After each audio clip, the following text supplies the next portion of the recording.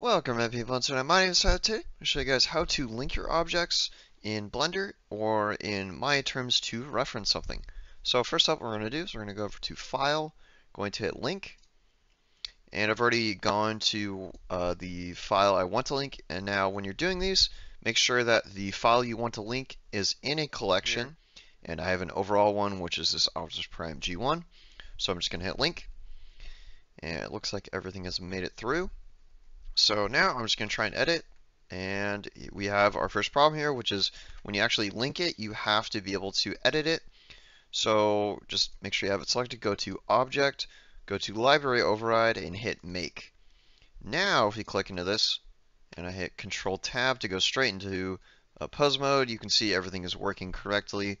And just to double check all my custom properties are working as well as you can see here now, if your custom properties aren't working correctly, all you need to do is go over here to the object for the rig, and you click this little button here. Now, this is going to make it local, which uh, can conflict if you're linking a rig and you want to still edit things. Okay, so if you want the linking stuff for the custom properties to work out of the box, what you need to do is go to the original file that you are linking from, and then go to uh, the custom properties, and you hit this little cogwheel here and then all you need to do is make sure that library override is turned on and it will work uh, properly instead of localizing the custom properties.